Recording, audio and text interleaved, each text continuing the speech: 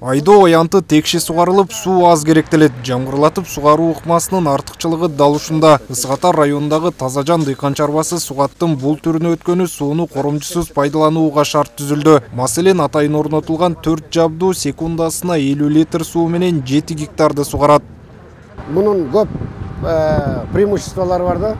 Себеби эрте жастан баштап кеч күзгө чейин сугара алсак болот суны үнемділік қолданып да ең негізгісі су үнемділік қолданып, су әрбір өзімдікке қанша өсінің нормасы бола тұрған нәрсеменен ошонун нормасын ғана бере алабыз да ал эми ивановка айыл өкмөтүнүн талаалары тамчылатып сугаруу ыкмасы менен суу ичет. Бул система аркылуу суу керектүү жерге гана берилет. Натыйжада өсүмдүк жакшы азыктанып жогорку түшүм алууга шарт түзүлөт. Тамчылатып сугаруу системасын орнотуу кымбатка турганы менен узак убакыт кызмат кылат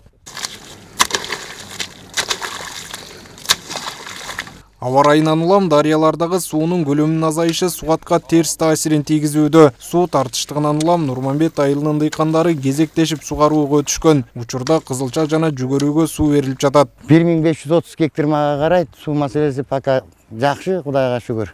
Ушул маалда кезектешип сугартып атабыз баарын. Суу пока жетиштүү. Азыр основной жүгөрү менен кызылча сугарылып атат. Пока дыйкандардын нааразычылык жок баары тең очередке турушат ордорду менен алып атышат.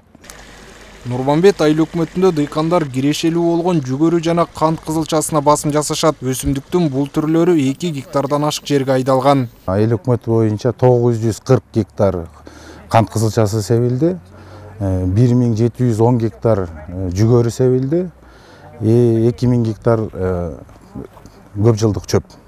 Буудай арпа барбы буудай арпа бар аянты так эки жүз гектардай.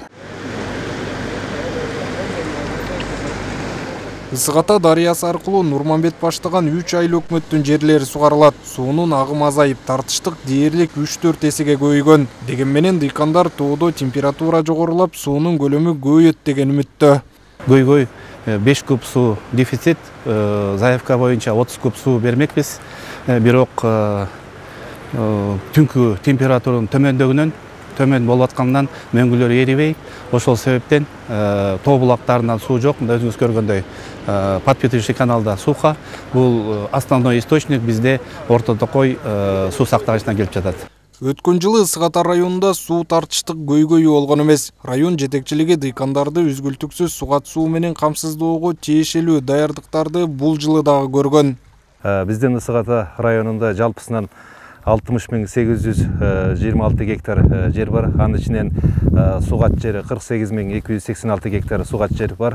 Ошол сугат жерди ушул суу өз убагында суу менен камсыз кылуу максатында ушул эрте жаздан баштап ошо кыштан баштап эле ушул адистер менен биргеликте айыл өкмөттөр менен биргеликте айыл чарба департаменти менен биргеликте бүгүнкү күндө ошол иштер башталып бүгүнкү күндө ушул иштердин жыйынтыгын көрүп атат десем жаңылышпайм мына быйыл заявка беришти биздин үрөнчүлүк чарбалар ошо менен эки миң төрт жүз отуз эки гектарга биз токтодук буга көп себепкер болду бул үрөндөр биздин симхоздор сапаттуу болуп атат не только биздин районго биз башка райондорго сунуштап атабыз бул көл нарын жалал абад ош областка чейин кетип атат биздин үрөндөр район боюнча беш миң алты жүз эки гектарга жаздык буудай тогуз миң эки жүз жетимиш сегиз гектар жерге жаздык арпа үч миң төрт жүз алтымыш бир гектарга кант кызылчасы себилген. Ала турчу түшүм сугат суудан көз каранды. Ошол себептен бул тармакка өзгөчө көңүл бурулат.